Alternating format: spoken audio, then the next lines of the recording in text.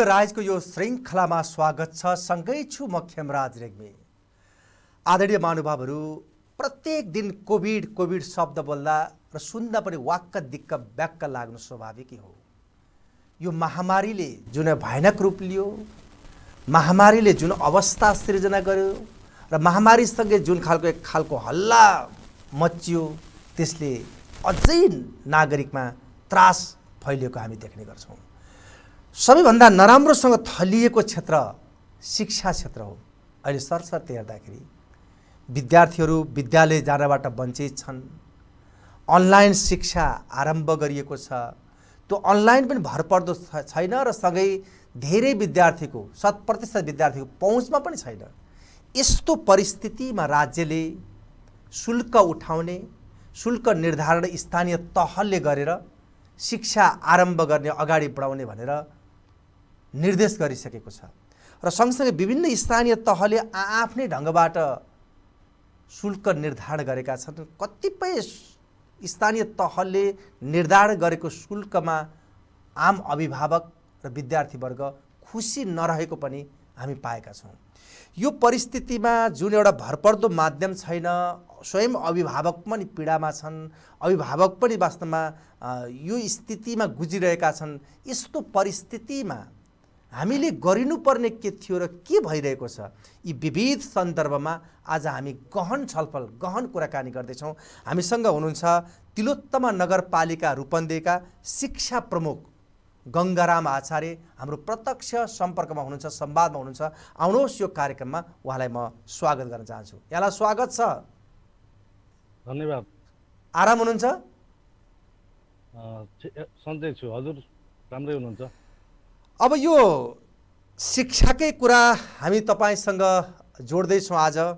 विशेष गरी स्थानीय तहले शिक्षा निर्धारण गर्ने जुन एउटा नीतिलाई अगाडि सारिरहेको छ यो परिस्थितिमा आम अभिभावकको मर्मलाई बुझेर गरिया छ या कसरी गरिया छ यो बारेमा जोडिदिनुहोस् न।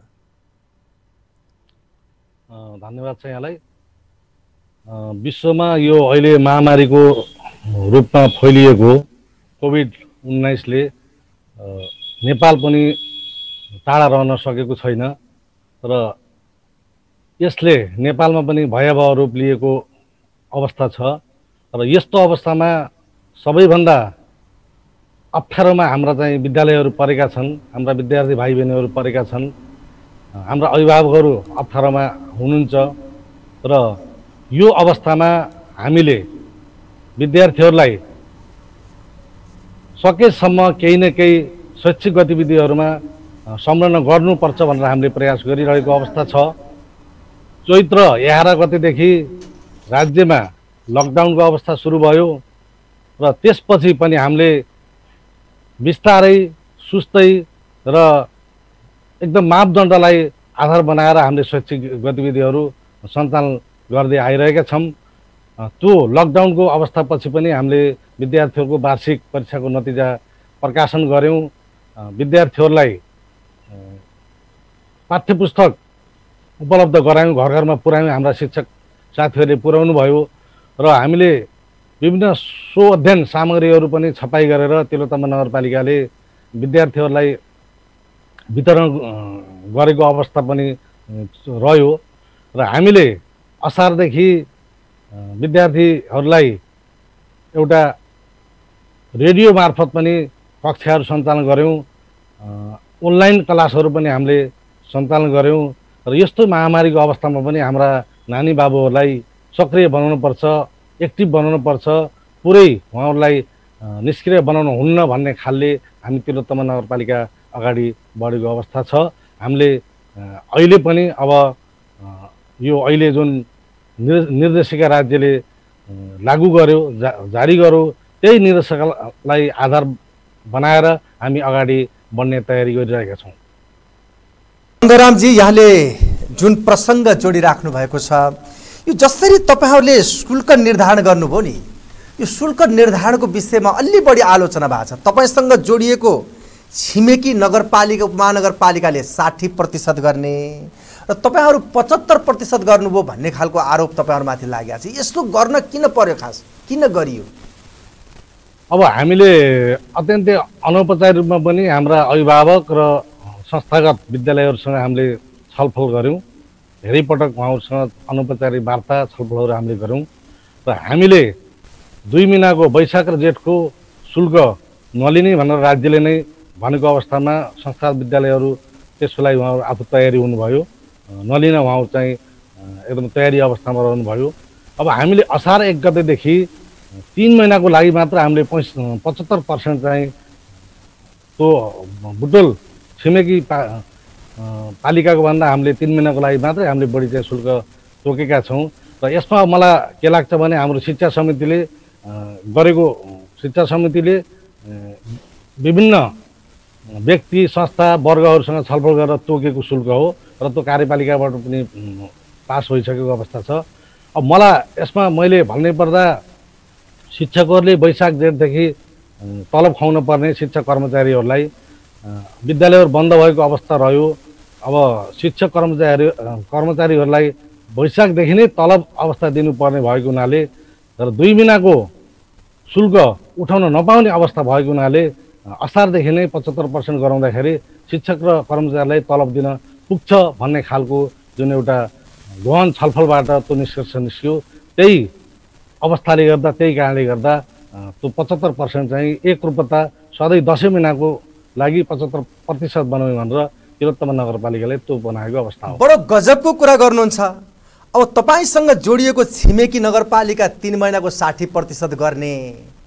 अब चाहिँ शिक्षकलाई राहत दिनु पर्यो शिक्षकलाई सुविधा दिनु पर्यो तलब खुवाउनु पर्यो भनेर तपाईँहरू पचहत्तर प्रतिशत गराउनु पर्ने त थिएन नि। कि तपाईँका जनप्रतिनिधिहरू नगरपालिकाका जनप्रतिनिधिहरू पनि त्यहाँ शिक्षा निजी क्षेत्रमा लगानी लगाएर यस्तो स्थिति आएको यो पनि बताइदिनुहोस्। होइन त्यस्तो छैन। अब हुन त होलान् अब कसैका संस्थागत विद्यालयहरू पनि सञ्चालनमा हुनु होला अब त मलाई त्यति जानकारी छैन। र हामीले यो निस्वार्थ रूपमा एकदम यसमा कुनै स्वार्थ नभएर निस्वार्थ रूपमा हामीले अभिभावक विद्यार्थी र शिक्षक कर्मचारी सबैको हित हुने खालले यो निर्णय गरेका छौँ भन्ने मलाई लाग्छ। र यसबाट यो निर्णयले हाम्रो अभिभावक र विद्यार्थी भाइ भाइ बहिनीहरू मर्कामा पर्नुहुन्न भन्ने मलाई लाग्छ। हामीले फेरि अर्को पनि एउटा एउटा हामीले के निर्णय पनि गरेका छौँ भने अनलाइन क्लासमा समावेश भएका विद्यार्थीबाट मात्रै यस्तो चाहिँ शुल्क उठाउन पाइनेछ अथवा त्यो वैकल्पिक विधिमा समावेश भएका त्यो वैकल्पिक शिक्षण सिकाइमा समावेश भएका विद्यार्थीबाट मात्रै यो शुल्क लिन पाइनेछ अन्यथा त्यो विधिमा समावेश नभएका विद्यार्थीबाट यो शुल्क लिन पाइने छैन भनेर हामीले त्यो पनि एउटा निर्णय गरेका छौँ। अब यो वैकल्पिक विधिमा हाम्रा सबै विद्यार्थीहरू समावेश भएको अवस्था छैन। त्यो अवस्था सबै विद्यार्थी समावेश भएको अवस्था छैन र अर्कोतर्फ सबै शिक्षक र कर्मचारीहरूलाई तलब खुवाउनु पर्ने अवस्था पनि रहेको छ। र त्यसले गर्दा पनि हामीले यो अत्यन्तै यसलाई सबैतिर मध्यनजर गरेर सबैको चाहना इच्छालाई बुझेर सबैको सहमतिमा हामीले अभिभावकको सहमति शिक्षकको सहमति विद्यालयको सहमतिमा यो काम गरेका हौँ भन्ने कुरा मैले निवेदन गर्न चाहन्छु। अब तपाईँले बुझ्नु भएको छ तपाईँको शिक्षक र कर्मचारीको अवस्था कस्तो छ? र चैतभन्दा अगाडि चैतभन्दा पछाडि तलब खुवाएका छ कि छैन निजी विद्यालयहरूले त्यसको सरसर्ती अनुगमन अध्ययन विश्लेषण गरेर तपाईँहरूले काम गर्नुभयो यो? अनि यस्तो अहिलेसम्म विद्यालयहरूले त्यो शुल्क उठाउन नपाएको अवस्था भयो र विद्यालयमा अलिक धनी विद्यालयहरूले विद्यार्थीहरूलाई आफूसँग जम्मा भएको जम्मा रहेको रकमबाट तलब खुवाएको अवस्था पनि छ। साना विद्यालयहरूले तलब खुवाउन सकेका छैनन्। अब छ महिनासम्म हाम्रा शिक्षक कर्मचारीहरू एक अवस्थामा भन्दाखेरि उनीहरूले अत्यन्तै दुःखको अवस्थामा दिन बिताइरहेको अवस्था पनि छ। र कुनै विद्यालयहरूले पच्चिस प्रतिशत कसैले पचास प्रतिशत तलब खुवाएको अवस्था पनि छ अहिले पैसा भएको विद्यालयहरूले। अब हाम्रो अपेक्षा के हो भने अब हामीले यो निर्णय गरिदिइसकेपछि विद्यालय शुल्क उठाउँछन् र ती शिक्षकहरूलाई अब वैशाखदेखिको तलब भत्ता चाहिँ खुवाउँछन् भन्ने हाम्रो अपेक्षा हो। त्यही अपेक्षा अनुसार चाहिँ अब खुवाएकाले खुवाइसके जुन तलब चाहिँ नखा खान नपाएका शिक्षक मित्रहरू हुनुहुन्छ उहाँहरूलाई अब विद्यालयले यो नगरपालिकाले निर्णय गरिदिएपछि अब शुल्क उठाएर खुवाउँछ र कक्षाहरू अगाडि बढाउँछ भन्ने कुरा हाम्रो अपेक्षा यो त तपाईँको अपेक्षा भयो कि गङ्गारामजी? अपेक्षा छ उनीहरूले खुवाउँछन् भन्ने जुन कुरा तपाईँले तर्कको कुरा गरिराख्नु भएको छ नि। वास्तविकता के हो सत्य के हो त्यो सत्यको नजिक पुग्ने प्रयास तपाईँहरूले गर्नुहुन्न। केवल अफिसभित्र बसेर कलम चलाएर मात्र समस्या समाधान हुने होइन। त्यो विषयमा तपाईँहरू गम्भीर किन देखिनुहुन्न? मैले यो कुरा सुन्न खोजेको खास। होइन हामी गम्भीरै छौँ। अब हामीले अनुगमन पनि गरेका छौँ हामीले बोलाएर छलफल पनि गरेका छौँ। हाम्रा शिक्षक साथीहरूले अब हामीलाई हामीलाई तलब खुवाउने व्यवस्था गर्नु पऱ्यो भनेर हामीसँग एकदम उहाँहरू चाहिँ आउनुहुन्छ सम्पर्कमा हुनुहुन्छ। हामी बेला बेला अनुगमन गर्न गएका पनि छौँ। अब विद्यालयले अहिले शुल्क उठाउन पाएका छैनन्। अब शिक्षक कर्मचारीले तलब खुवाउनुहोस् भन्ने अवस्था पनि बडो गाह्रो विषयवस्तु रहेछ। र त्यसैले हामीले अत्यन्तै यसमा चाहिँ यो के भनौँ के नभनौँ जस्तो अप्ठ्यारो परिस्थिति पनि भएको यो हाम्रो मात्रै समस्या होइन देशभरिकै समस्या हो। मैले आफ्नो मात्रै कुरा यहाँ गर्न खोजिनँ। र त्यस्तो अवस्थामा यो निर्णयले हाम्रो चाहिँ शिक्षक विद्यार्थी अभिभावक सबैलाई लाभ हुन्छ सबैलाई फाइदा हुन्छ यसले ठुलो खासै तात्विक असर गर्दैन भन्ने मलाई लाग्छ।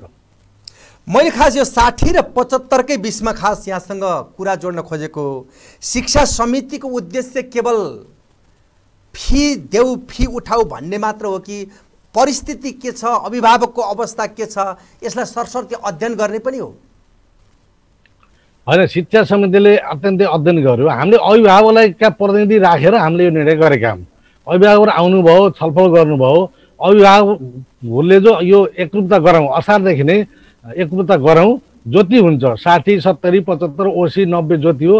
यो असारदेखि नै एउटै गरौँ भन्ने खालको चाहना अभिभावकहरूबाट पनि यी कुराहरू आए अनि विद्यालयहरूबाट पनि आए र यसैले यो शिक्षा समितिले कुनै निस्वार्थ भावले नगरेर उहाँहरूको चाहना र उहाँहरूको इच्छा उहाँहरूकै कुरालाई मध्यनजर गर्दै यो चाहिँ निर्णय गरेको हो।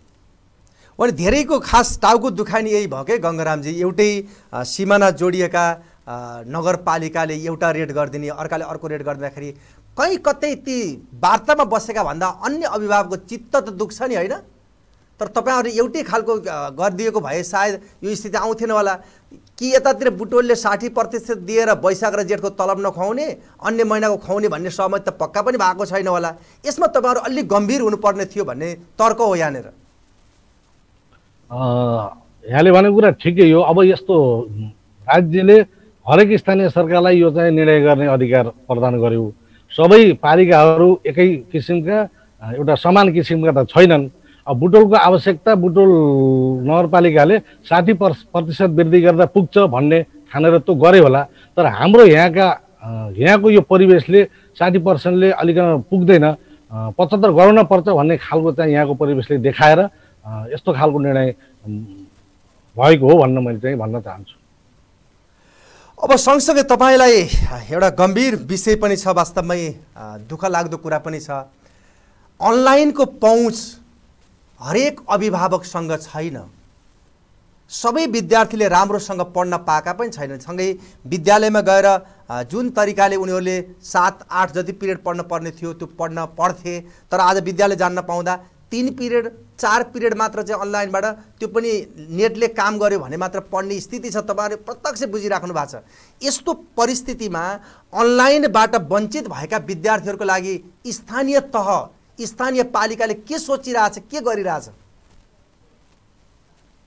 अत्यन्तै महत्त्वपूर्ण कुरा उठाउनु भएको छ यहाँले। सबै विद्यार्थीहरू हाम्रो तिलोतमाका सबै विद्यार्थीहरू अनलाइनको पहुँचमा छैनन्। हामीलाई अहिले भर्खरै विद्यार्थी सिकाइ सहजीकरण निर्देशिका दुई हजार सतहत्तर केन्द्रीय सरकारले जारी गरेको छ। त्यसमा पाँच विधिबाट शिक्षण गर्न पर्छ भनेर हामीलाई त्यो निर्देशिकाले प्रष्ट रूपमा हामीलाई बताएको छ। सबै विद्यार्थीहरू अनलाइनको पहुँचमा न हुँदैनन् र नहुने विद्यार्थीहरूलाई अर्को टिभीबाट अथवा रेडियोबाट र त्यो त्यो पनि सम्भावना भएन भने कुनै पनि पहुँचमा नभएका विद्यार्थीहरूलाई टोलमा अथवा विद्यालयमा भौतिक रूपमै उपस्थित बनाउने तिनीहरूलाई पाठ्य पुस्तक वितरण गर्ने तिनीहरूलाई सिकाइ सामग्रीहरू छपाई गरेर स्थानीय सरकारले वितरण गर्ने र उनीहरूलाई एउटा सहजकर्ताको रूपमा अथवा शिक्षकहरूलाई त्यहाँ चाहिँ उपस्थित गराउने र उहाँहरूलाई त्यो सिक्ने वातावरण हाम्रा स्वास्थ्यका यो मापदण्डहरू पुरा गरेर त्यो त्यसरी पनि सिकाइ गर्नुपर्छ र त्यसरी सिकाइ गरेर सम्पूर्ण बालबालिकाहरूलाई हामीले अहिले सिकाउनुपर्छ कसैलाई पनि यो सिकाइबाट बाहिर राख्न हुन्न घरमा राख्न हुन्न सबैलाई यो व्यवस्था गर्नुपर्छ। पाँच विधिमध्ये कुनै न कुनै विधिबाट सञ्चालन गर्नुपर्छ भनेर हामीलाई त्यो निर्देशिकाले भनेको छ। त्यसै अनुसार हामीले अनलाइन पहुँच नभएका विद्यार्थीहरूलाई तिलोत्तमा नगरपालिकाले अब पाठ्य पुस्तक वितरण गरिसक्यो मैले भनिसकेँ वितरण गरेको अवस्था छ।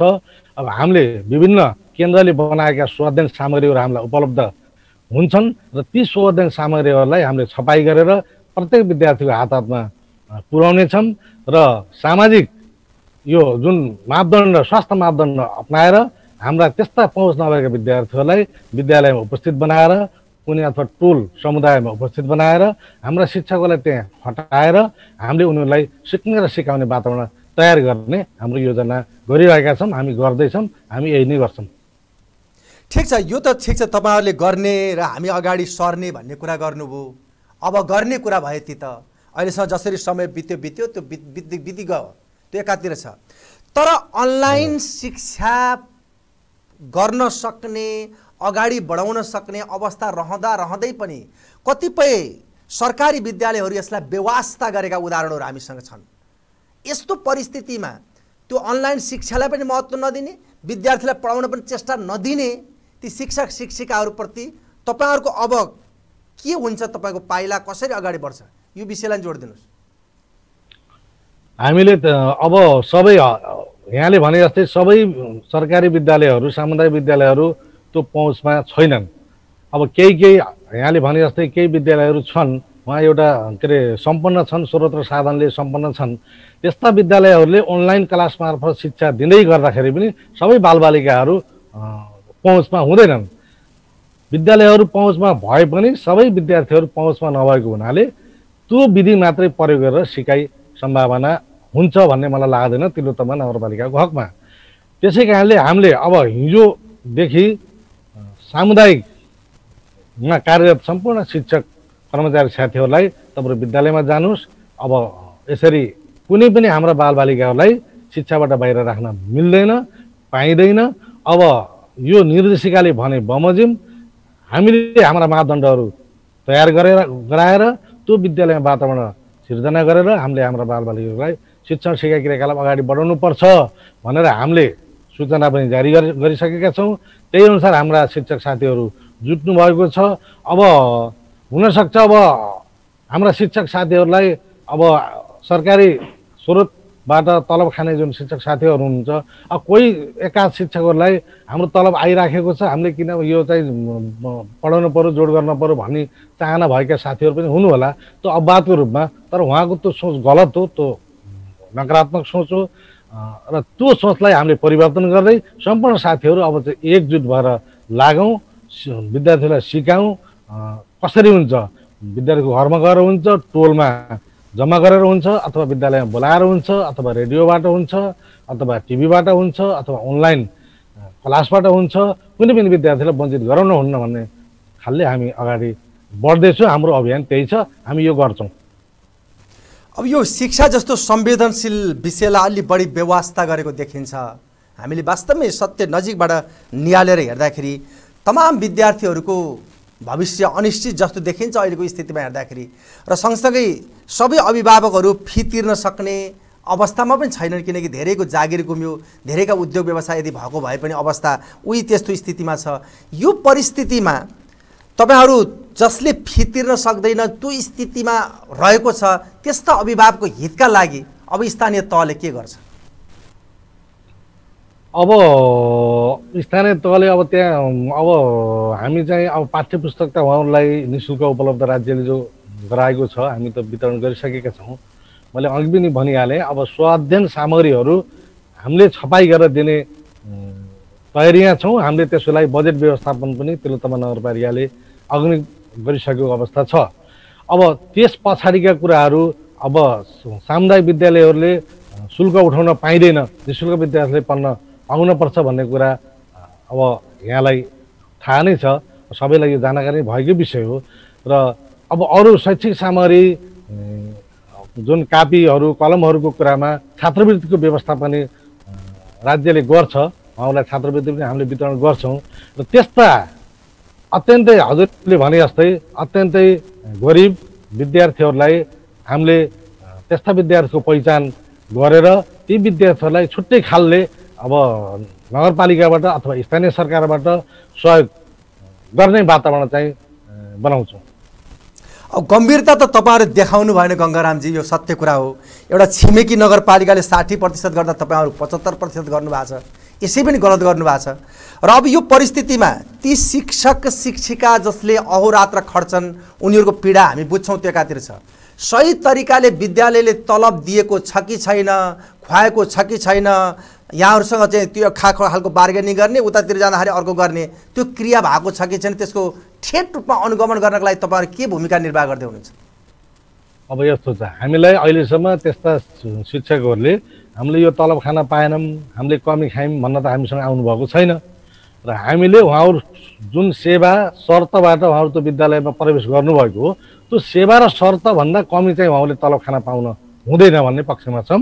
उहाँहरूलाई पूर्ण रूपमा उहाँहरू जुन सेवाबाट उहाँहरू त्यहाँ प्रवेश गर्नुभएको जुन शर्तबाट प्रवेश गर्नुभएको त्यो शर्त अनुसार राज्यले तोकेको नियमअनुसार राज्यले तोकेको नर्म्स अनुसार उहाँले चाहिँ तलब भत्ता पाउनपर्छ भन्ने हाम्रो चाहिँ मान्यता हो र हामीले त्यो चाहिँ गराएरै नि छाड्छौँ। कुनै पनि विद्यालयले त्यस्तो गर्यो भने त्यसलाई हामी छानबिनको छानबिनको लागि अगाडि बढ्छौँ।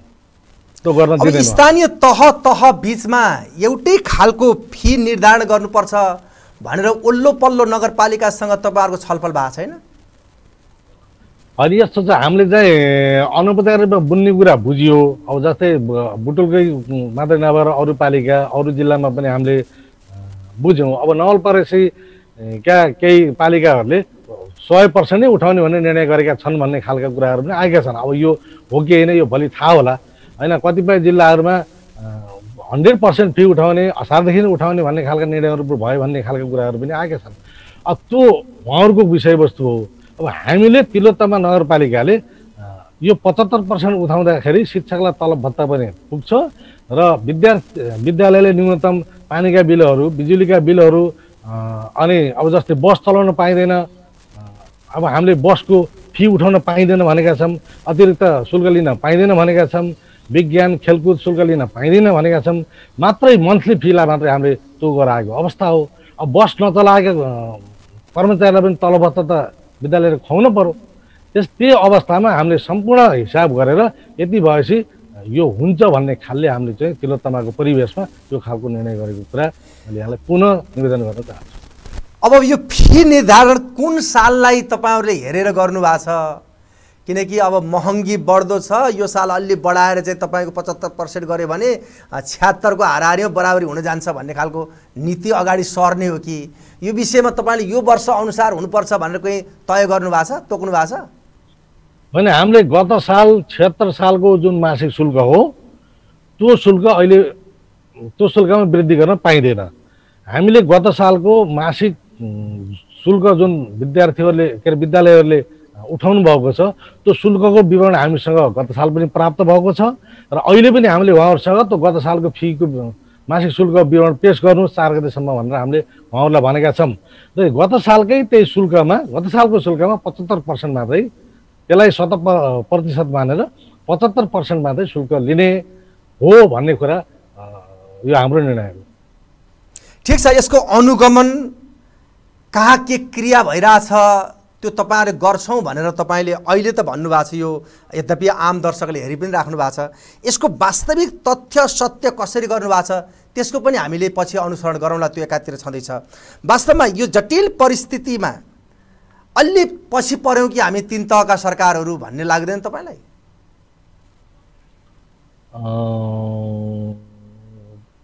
पछि जस्तै मैले अलिकति प्रश्न यहाँको अलिक बुझिनँ। यो शिक्षाको विषयमा हामी अलि पछि पऱ्यौँ यसलाई अलि पहिले चाहिँ निर्धारण गर्नुपर्ने पहिले यसलाई ऊर्जा दिनुपर्ने पहिले अगाडि बढ्नुपर्ने भन्ने लाग्दैन कहिले काहीँ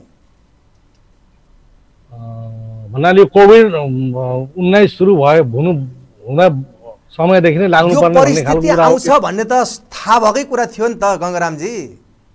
हो। तर अब अन्तिम घडीमा आएर हामीले आफ्नै खालको निर्णय गरिरहेछौँ कि? होइन यसो छ हामीले त्यो कोभिड मैले अघि पनि भने यहाँलाई कोभिड उन्नाइस सुरु भए पश्चात हामीले चाहिँ अनलाइन क्लास पनि चलायौँ दस कक्षाका विद्यार्थीहरूलाई चलायौँ अनि हामीले रेडियोबाट टिभीबाट पनि हामीले कक्षाहरू सञ्चालन गऱ्यौँ अरू कक्षाका विद्यार्थीहरूलाई। हामी अत्यन्तै प्रयास गर्दै आइरहेका छौँ र यो गर्दा गर्दै पनि अब यो महामारीको रूप लिँदै गर्दा बिचमा हाम्रो केही फेरि स्थगित पनि भयो र हामीले मैले अघि पनि भनि भनिसकेँ तिलोत्तमा नगर नगरपालिकाले त्यो स्वाध्ययन सामग्री छपाई गरेर विद्यार्थीहरूलाई वितरण गरेको छ तल्लो क्लासका विद्यार्थीहरूलाई। र अरू पनि अब छपाई गरेर वितरण कार्यक्रम पनि गर्दैछ। र हाम्रो प्रयास चाहिँ हामीले जारी छ।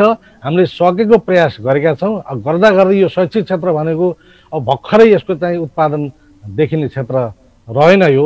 यो त दस वर्षपछि बिस वर्षपछि यसको चाहिँ बल्ल यसको चाहिँ उत्पादन अथवा यसको प्रतिफल आउने क्षेत्र भएको हुनाले पनि भर्खरै हामीले गरेको प्रयास चाहिँ अब यहाँहरूले अथवा हाम्रा अभिभावकहरूले देख्न नसकेको अवस्था हो। र हामी यसलाई चाहिँ तिलोत्तमा नगरपालिकाले शैक्षिक क्षेत्रमा अत्यन्तै राम्रो अभ्यासहरू गरेको छ। त्यो अभ्यासको बावजुद हामी अगाडि बढेका छौँ र त्यो अभ्यासले हाम्रा चाहिँ सामुदायिक र संस्थागत दुवै विद्यालय पढ्ने विद्यार्थीहरूको एउटा शैक्षिक उपलब्धि पनि वृद्धि भएको छ। सिकाइ उपलब्धिहरू वृद्धि भएका छन्। गुणस्तरमा सुधार आएको छ भन्ने कुरा हामीलाई लाग्छ। ठिक छ तपाईँहरूले सबै विद्यालयको रङ एउटै लगाउनु भएको छ सकारात्मक काम विद्यालय चिनाइदिनु भएको छ। र सँगसँगै यहाँहरूले शिक्षा क्षेत्रमा केही न केही गर्नुभएको छ त्यो पनि महत्त्वपूर्ण काम। यसमा हामीले त्यो विरोध गर्न खोजेको यहाँले यसो गर्न खोजेको भन्ने कुरा होइन। तर फी निर्धारण गर्ने सवालमा तपाईँहरू चुक्नु भएकै हो। यसमा हामीले वास्तवमा बोल्नै पर्छ। वास्तवमा यो शिक्षा जस्तो महत्त्वपूर्ण कुरालाई अलि बढी संवेदनशील नहुँदाखेरि यो स्थिति आयो भनेर आम नागरिक भन्छन्। तपाईँ के भन्नुहुन्छ? अब यस्तो छ हामीले हाम्रा सरकारी विद्यालयहरू पनि छन्। अब यो संस्थागत विद्यालयहरूमा पढाउने भनेको अलिकन आर्थिक अवस्था बलियो भएकै अभिभावकहरूले पढाउनुहुन्छ भन्ने मेरो बुझाइ छ। हामी सबैको बुझाइ त्यो नै हो। अब हाम्रा सामुदायिक विद्यालयहरूमा अहिले चाहिँ एउटा कक्षामा पाँचजना छजना सातजना दसजना विद्यार्थीहरू हुनुहुन्छ। अब फी तिर्न नसक्ने अभिभावकहरूले मैले के अनुरोध गर्छु भने सामुदायिक विद्यालयमा लगेर विद्यार्थीहरूलाई पढाउनु पऱ्यो भर्ना भर्ना गर्नु पऱ्यो हामीले तिलोत्तमा नगरपालिकाको हकमा पाँचवटा विद्यालयहरूलाई समायोजन गरिसकेका छौँ। र अहिले पनि कतिपय विद्यालयहरू समायोजन गर्ने अवस्था छ। अब त्यो फीकै कुरा गर- गर्दाखेरि हामीले सामुदायिक विद्यालयमा हाम्रा बच्चा बच्चीलाई पढाउनु पऱ्यो सामुदायिक विद्यालय राम्रा बनाउनु पऱ्यो भन्ने सोच सम्पूर्ण अभिभावकबाट आउन पर्छ। आओस् भन्ने मैले यही यहाँ मार्फतै मैले सम्पूर्ण अभिभावकहरूलाई यो आह्वान गर्न पनि चाहन्छु। र सामुदायिक विद्यालयलाई राम्रा बनाऊ हाम्रा विद्यार्थीहरूलाई सामुदायिकमा पढाउँ सामुदायिकको गुणस्तर वृद्धि गरौँ भन्ने कुरा मैले आह्वान गर्न चाहन्छु र त्यसै कारणले पनि अब यो यो जुन सामुदायिक र संस्थागत विद्यालयहरूमा विद्यार्थीको ठुलो अन्तर छ तिलोत्तमा नगरपालिकामा। हामी कहाँ सैँतिस हजार विद्यार्थी दस क्लाससम्म रहँदै गर्दा संस्थागत विद्यालयमा करिब पच्चिस हजार विद्यार्थीहरू हुनुहुन्छ छन्। सामुदायिकमा जम्मा बाह्र हजार विद्यार्थीहरू छन्। र त्यसले गर्दा पनि विद्यार्थी सङ्ख्या करिब करिब उस्तै उस्तै संस्थागत उन्चालिस सामुदायिक त्रिचालिसवटा छन्। त्यसले गर्दा पनि हाम्रा सामुदायिक विद्यालयहरूप्रतिको जुन चाहिँ यो अभिभावकको चाहिँ यो जुन चाहना उहाँहरूको इच्छा नहुनाले पनि यो अवस्था सिर्जना भएको छ। हामीले सामुदायिक विद्यालयहरूलाई अगाडि गजबको कुरा गर्नुभयो। गर्छौँ। बडो गजबको कुरा गर्नु हुने खानेहरू मात्र निजी विद्यालयमा पढाउन सक्छन् नहुनेहरू सरकारी विद्यालयमा पढाउँछन् भन्ने तपाईँको तर्क। यद्यपि गिटी फोडेर जीवन निर्वाह गर्ने सडकमा रिक्सा गुडाउनेहरूले पनि तपाईँको निजी विद्यालयमा पढाएका उदाहरणहरू हामीसँग छन्। तर हामीले यो कुरा बुझ्नुपर्छ। मैले निजी विद्यालयले यसो गर्न पाउँदैन भन्ने तर्क होइन निजी विद्यालय धेरैचोटि आन्दोलित पनि भयो। यदि तपाईँहरूले यो कुरालाई पहिल्यै सरकारले सुनिदिएको भए वास्तवमा यो स्थिति अहिले आउने थिएन। उनीहरू पटक पटक सडकमा जानुपर्ने शिक्षक अभिभावकलाई अथवा विद्यार्थीलाई सँगसँगै चाहिँ ती निजी लगानीकर्ताहरूलाई त्यो आयो। त्यो स्थिति पहिल्यै सिर्जना नगरिदिएको भए सायद यस्तो हुन्थेन। तर हामी अलिक गम्भीर भएनौँ कि भन्ने मेरो चासो हो कि गङ्गारामजी? होइन हामी गम्भीरै छौँ। शैक्षिक क्षेत्रमा हामीले चाहिँ सम्पूर्ण विद्यार्थीहरूलाई समान व्यवहार गर्नुपर्छ। सबै हाम्रा बालबालिका हुन्। सबैलाई शिक्षाको पहुँचबाट बाहिर राख्न हुँदैन। अब सडकमा हिँड्ने बालबालिकादेखि लिएर घरमा बस्ने बालबालिकाहरूलाई सबै हाम्रा एउटै हुन्। सबैलाई शिक्षा दिनुपर्छ गुणस्तरीय शिक्षा दिनुपर्छ भन्ने अभिप्रायले नै हामी अगाडि बढिरहेका छौँ। हामीले कसैलाई भेदभाव सामुदायिक संस्थागतमा भेदभाव गरेको अवस्था छैन। हामी सबैलाई समान दृष्टिले हेर्दै सबैको समान पहुँच होस् भन्ने हाम्रो मान्यता छ। हो। अब सरकारी सेवामै रहेर शिक्षाको विषयमा अलि जानकार व्यक्ति हो तपाईँलाई मैले बुझ्दाखेरि मैले जान्दाखेरि। यद्यपि कतिपय तपाईँहरूले निर्णय गराउन खोज्दा खोज्दै पनि स्थानीय तह अथवा जनप्रतिनिधिको कारणले गर्दा पनि तपाईँहरू सोचे भन्दा पृथक हुन जान्छ त्यो हामी बुझ्छौँ। तर अब यो अहिले थलिएको शिक्षा छ यो थलिएको शिक्षालाई अलि उकास्नका निम्ति के के गर्यो भने समस्याको समाधान होला जस्तो लाग्छ यहाँलाई? यो भनिदिनुहोस् त।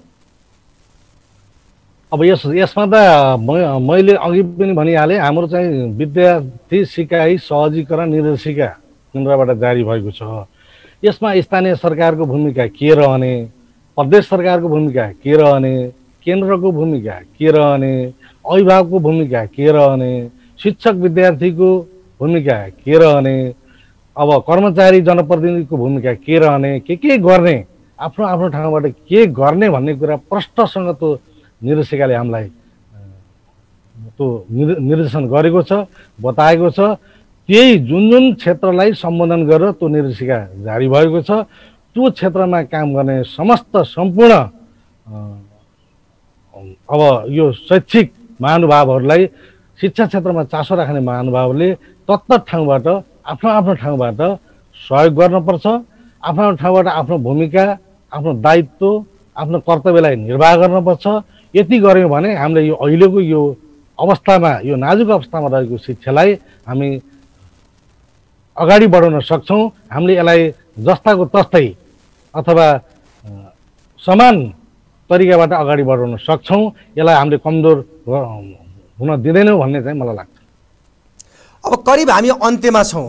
यो अन्त्यमा जसले यो टेलिभिजन हेरिराख्नु भएको छ आम नागरिक जो अभिभावक महिनौदेखि घरभित्र थन्किन बाध्य हुनुहुन्छ आफ्ना रोजगारीका अवसरहरू पनि गुमेका छन् र विद्यार्थीहरू मानसिक तनावमा छन् अहिले पनि साँच्चै भन्यो भने हामी सजिलै निर्णय गरिदिन्छौँ गरिदिँदाखेरि तर उनीहरूको पीडा कस्तो छ त्यो हामीले बुझ्दैनौँ र सँगसँगै अर्कोतर्फ शिक्षक शिक्षिकाहरू गर्दाखेरि वार्तामा बस्दाखेरि एउटा निर्णय हुन्छ वास्तवमा घरमा जाँदाखेरि गतिलरी चामल किनेर खान सक्ने अवस्थाको स्यालेरी नपाउने अवस्था पनि छ कतिपय विद्यालयबाट। यो परिस्थितिमा तपाईँ एउटा जिम्मेवार नागरिक पनि हो। यद्यपि कतिपय तपाईँले गराउन खोजेका निर्णयहरू यद्यपि त- नीति नियमहरू आएका छन् भने तापनि तपाईँहरू बल्झिनु पर्ने अवस्था अथवा अल्झिनु पर्ने अवस्था पनि छ। तर यो टेलिभिजन मार्फत तपाईँ के भन्नु चाहनुहुन्छ अहिले यति बेला? होइन मैले सम्पूर्ण यो मैले यहाँलाई धन्यवाद छ। मलाई यो सम्पूर्ण यो अभिभावक सम्पूर्ण जनतालाई को अगाडि आज चाहिँ यो मलाई देखाउनु भएको छ मैले बोल्ने अवसर पनि पाएको छु। र वास्तवमा मैले अब जुन कुराहरू यहाँ चाहिँ व्यक्त भए जुन कुराहरू व्यक्त गरियो यो कसैलाई हित हुने र कसैलाई अहित हुने खालले हामीले नगरेको कुरा मैले यहाँ निवेदन गर्न चाहन्छु। र हामीले सम्पूर्ण अभिभावकज्यूहरूलाई म यही यहाँ यहाँहरू मार्फतै सम्पूर्णलाई आह्वान गर्न चाहन्छु।